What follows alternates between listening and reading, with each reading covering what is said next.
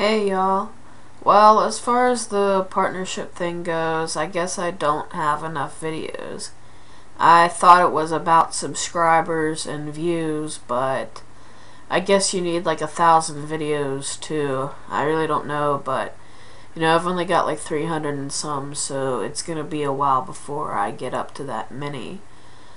So, anyway, moving on, I want to talk a little bit about the difference between my public persona here and how I really am in private. Because it seems that some people, or I really shouldn't say some people because it's the same simple minded inbred hillbillies as always, but yeah, um, so yeah, some people, you know, seem to think that they know me by watching my videos or reading my blog or even my Twitter, but you know what there's there's two different versions of me. There's what you see online, which is I'm I'm much more open and much more extroverted online than I really am in real life. In reality, I am very shy and introverted and, you know, much more of a quiet person. You see, it's kind of like on ashtrays and action figures, you know, how Jamie's a little more crazier on there.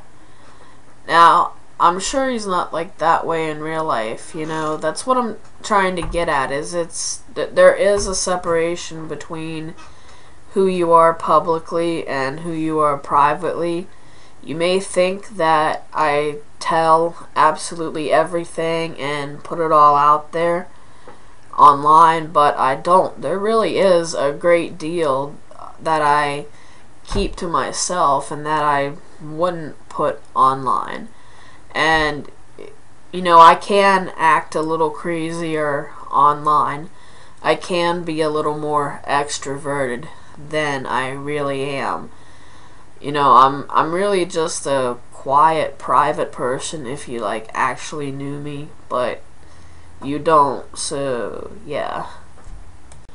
And I have done sketches before. You know, a long time ago I did those street stories with 10 strip ones, which I'll put links to somewhere around here. But um while those are real stories from my days of being homeless as a teenager and being on the streets. They are done in the character of Ten Strip, which is my Ryda's character. And I came up with that because a 10 strip is 10 hits of acid, and there were all these legends of on the streets of people who had done too much acid and gone insane. And that's what it is. 10 strips a crazy motherfucker. You don't want to set him off. And so, yeah, it's just, it's a little sketch I tried to do.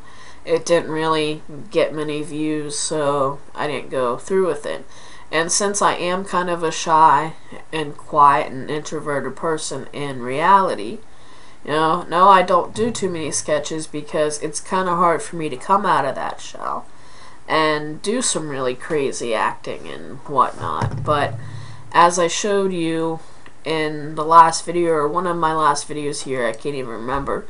I showed you clips from the other video that I did to try to follow up to the famous so-called World World of Warcraft crap video, but um oh, that was fucking weird. The whole house started shaking. It's going. It's like what the fuck? But anyway, yeah, um